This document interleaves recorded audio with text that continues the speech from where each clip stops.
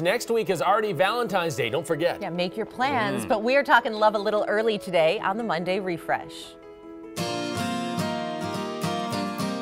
As someone whose mission is to lead with love, I would invite people to start their day with love.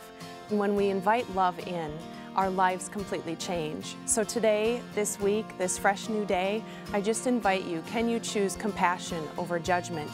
Can you choose curiosity over anger, hope over worry, and see how that will affect your life and the lives of those that you touch?